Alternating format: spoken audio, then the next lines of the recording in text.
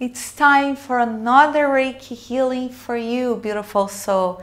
Keep watching because today we're receiving Reiki for school.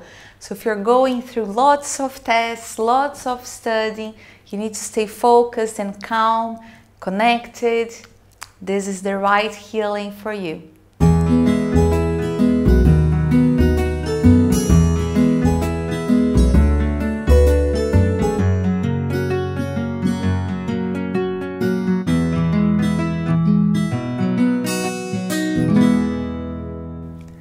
Hello, beautiful soul. My name is Maria. It's a pleasure to have you here with me today. Our Reiki healing is going to be for school to help you on your studies, to help you to stay calm when you go through your tests, and to help you to be dedicated towards your studies. So if this is your first time here, I invite you to go to the subscribe button below so you will always get notifications whenever I post a new video here in my channel. And our Reiki is for school, like I told you.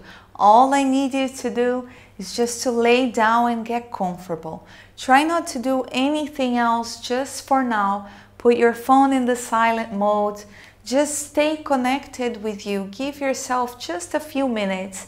This is not a full Reiki session, but it's going to be available to you. So I also suggest you do it as much as you feel you need. So the energy will come stronger to you, will help you even more.